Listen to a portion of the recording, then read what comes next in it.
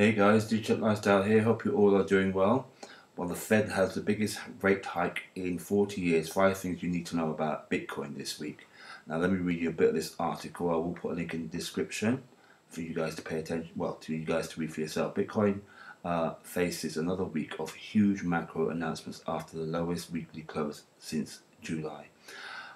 After days of losses following the latest inflation data from the United States, BTUSD, like or like altcoins and risk assets, are more broadly have failed to recover. The largest cryptocurrency has yet to flip 20,000 convincing support, and as the third full week of September begins, the danger is once again that the level could fracture as resistance. The bulls have plenty to worry about. The coming days will see the Federal Reserve decide on the next rate hike, something that will affect the market far beyond more mere sentiment. In addition, the aftermath of the Ethereum merge continues to play out while the defunct exchange Mt. Gox uh, reimbursements, creditors, and other potentials could you know, a potential cloud to the Bitcoin price landscape. Cointelegraph takes a look at five potential market moving factors to keep an eye on in the Bitcoin over the next over the coming week. So the Fed rate uh, sledgehammer is in focus. The main event, uh, the main event of this week is in the form of the Federal Reserve's decision on key interest rates. After the consumer price index CPI print of um, for August came in hotter than expected, the Fed will under will be under pressure to respond. As such, the market will now, has now fully priced in a minimum 75% basis point hike from the Fed uh, funds rate, and it's not discounting the chances of 100 uh, basis points according to the CME FedWatch tool as of September the 19th. Now, I don't know much about all this stuff and the graphs and all that kind of stuff, but the way I see this year, they are taking a sledgehammer to crypto. They've been trying to get rid of crypto for a long time. They want to discredit it for the the general public, and, and a part of this is like making people um, sell their bags and not hold on to that valuable asset. It doesn't matter which one you hold. I mean, as long as you hold use case crypto like Bitcoin. I'm going to come on to Ether in a bit because there's some speculation around that, um, and it could not be, it may not be well, uh, it may not be well for Ether at the, at the, as it stands.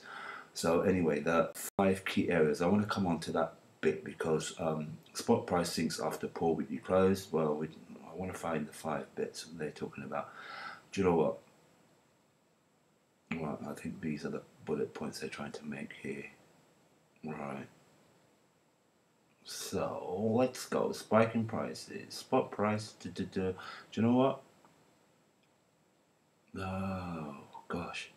Right, the Federal Reserve Open Market Committee, um, FOMC, is due to meet on the September the 20, 21st and will publish a statement confirming the hike and the Fed support for the uh, figure involved. The Fed will not be easing anytime soon, and it's classic human nature because now we have a the benefit of knowing how far in the mistakes they have made by easing too much. Mike uh, McGlone, senior commodities strategist at Bloomberg Intelligence, said in an interview with Kitco over the weekend, risk as asset growth since March 2020 crash has swung way too far on one side. He said that it's now very clear that a reversal will take hold. Now I've heard that crypto will um, crash. I've heard that, but I'm still holding on. I'm not going to let go. I will not uh, um, relinquish my bag. I'm sorry. Crypto, it will figure in the overall market reset. See, market reset, and Bitcoin will ultimately come out ahead, and it will. Macron continue to uh, Macron, I'm sure I hope I said it right, continue to re- re- reiterating a long held theory about the cryptocurrency's future. Gold will also outperform, but but for both pain is um, per, both pain is first to come. Unfortunately for the Fed, to stop this sledgehammer, risks assets have to make them stop by tightening for, by tightening for them. He summarized. Okay, I didn't get that. sorry, dyslexia kicked in, but I didn't get that bit. But hey, um, a 100 basis point move this week would hasten the process, which is now seeing catalysts for central banks beyond the US after they were initially slow to begin raising interest, interest rates to combat. No, well, I didn't. They didn't say interest rate. I'm saying that, but raising rates, so it could mean interest rates to combat inflation. But the more they try and do that, the more more inflated the market becomes. So I don't go. I don't get what they're trying to do. I just wish they would stop messing about, let the market do its thing, crash if it has to, and then let it rise from the ashes. You know, a lot of the problem is, liquidity, and we don't have liquidity in the market. They keep printing to to to printing debt at the end of the day. Anyway, I'm going to leave a link in the description. You guys can go read that at your leisure. Um, because I think I might have butchered it up a bit, but you know what? It's me, and it's just me giving out some information. You know, hopefully I'm doing all right. If I'm not, then you know, it's what it is. But I'll try to do my best. Right. The SEC claims all Ether falls under U.S. jurisdiction. In a civil complaint against crypto influence, the SEC just suggested that it believes the US government has jurisdiction over all Ethereum transactions and that guess what that could mean? When the, that could mean all all of uh, not just ETH itself, but the smart the, the, the chains that use ETH, and there are loads of them in the market, loads. When the SEC filed a federal lawsuit Monday against crypto influencer Ian Balin, Balin, uh, sorry, I can't even say it, for the failure to register cryptocurrency as security before la- launching 2018 uh, initial coin offering ICO. Um, everything at first appeared run, run of the mill. The SEC has for years filed um, civil uh, uh, civil suits against individuals and organizations for rolling out unregistered ICOs. But why take so long? This is 2018. We're now 2021 coming up 2022. Why did they take so long to roll out these things? And it's part of damaging the market. Eagle Eye observers then read a little further into the fine print. In bold and potentially unprecedented move buried in lawsuit 69 paragraph, the SEC today claimed it had the right to sue Bulimia, Bulimia, sorry, not only because it is his case concerns transactions made in the United States, but also because essentially the entire Ethereum network falls under the US government purview. And I got another one on ETH. ETH is a security. If it wasn't before, it is now, and that since the merge. Last weekend, last week, the long-awaited ETH merge is finally arrived, switching Ethereum from a proof of work to a proof of stake consensus mechanism. So it, so in fair, it, so it, so far, it appears to have made the switch without major technical problems. Although it's still early days and will be um, some time before we know for sure the merge hasn't introduced new vulnerabilities as it happened with the 2019 Constantinople, Constantinople update. Okay, however, the technical vulnerabilities are not the main focus of this article. We're going to look at whether Ethereum token is security. I'll agree that it it if it wasn't before, it most certainly is now. not good, not good, not good. The United States, the principal authority on what it, what it, what is and what isn't the security is the Securities and Exchange Commission (SEC). The current chairman Gary Gensler has said, staking third parties, uh, stating via third parties could implicate securities laws. Stake, all right, staking services look very similar with some exchanges for labeling, labeling to lending, he said. Last Thursday, Gensler said that the digital currency networks or intermediaries that allow users to stake their coins might be deemed securities using the Howey test. The test is commonly accepted as a way to determine what is and wasn't in the security by examining whether investors expect to return on profit, uh, return from the work of third parties. From the coin's perspective, there's another indication that under the Howey test, the Investing public is anticipating profits based on the efforts of others. Gary Gensler said he just said that.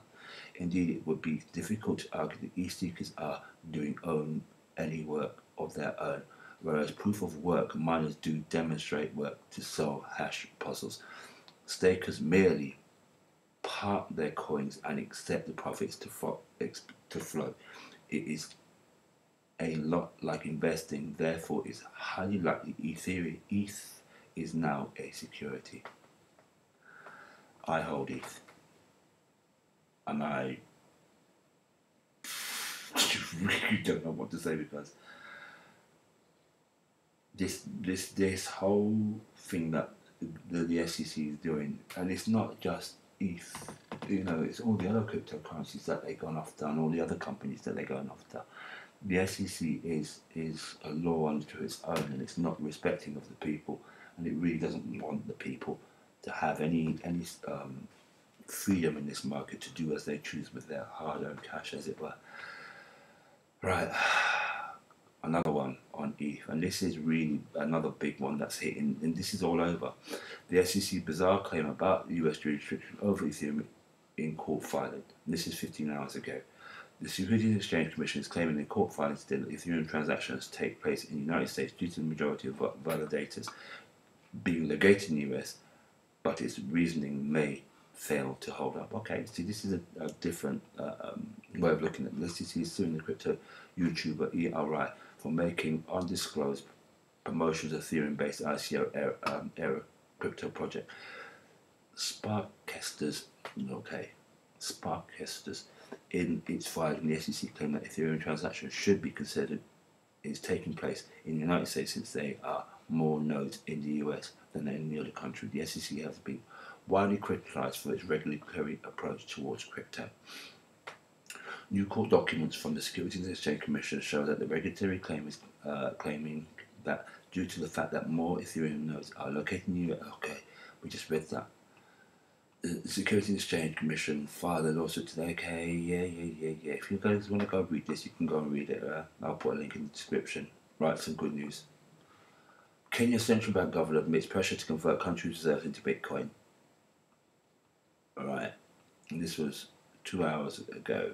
Right, Central uh, Kenya Central Bank Governor Patrick Nogorge, oh, sorry if I said that wrong, has admitted to receiving external pressure from crypto proponents to convert the country's reserves into Bitcoin. According to Nogorge, the idea can be attained, equated to craziness no, no, it's probably not a good idea then. And I'm sorry to say it's good news, but it's probably nothing that, con, nothing that conventing the reserves. No, craziness. Nothing that converting the reserves into Bitcoin would be a risk considering digital assets volatility, he said during the meeting with members of parliament on, on September 19. He also initiated lawmakers might be under pressure to influence legislative pressure process in favour of adopting cryptocurrencies. Initially, government pointed out that life that if the country was went to Bitcoin way during the, his tenure, he would be ready to be he'd be ready to go to prison for it. I'm gonna leave you guys to read the rest of it, but this is a this one here is definitely good news. So I didn't really read this one. I just thought, oh great, you know, the headline said, you know, crypto. Australia Senator draft bill for crypto regulation details inside. Now this all this is all from September 19th. See how they covered bring these things out really late. I mean, I didn't get to see it until today. Australian Senator uh, Andrew Bragg has drafted bill aimed at better regulations of cryptocurrencies and other virtual, virtual assets in, in the country. Titled the Digital Asset Market Regulation Bill 2022, the bill provides a licensing system for digital asset exchange and stablecoin issuers. Bragg said that Australia must keep pace with the global race for regulation in digital assets. He also he has also released a draft bill that is open for consultation until 31st of October 2022.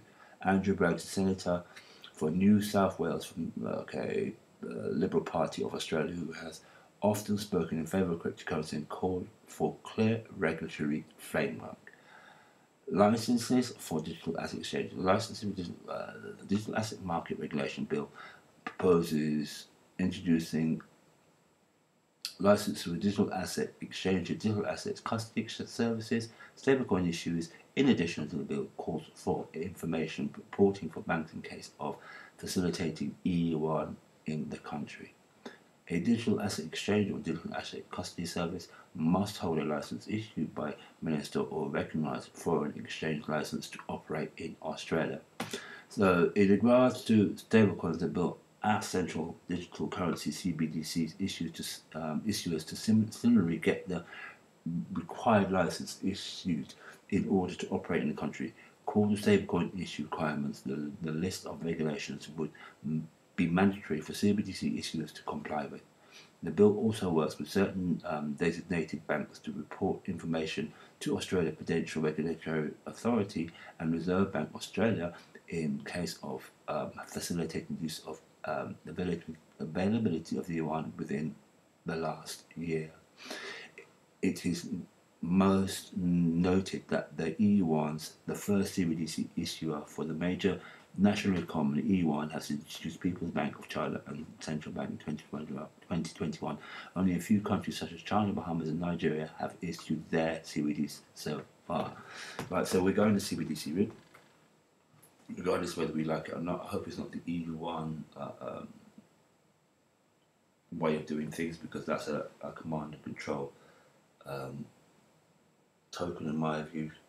Um, will that happen? In other countries, I don't know.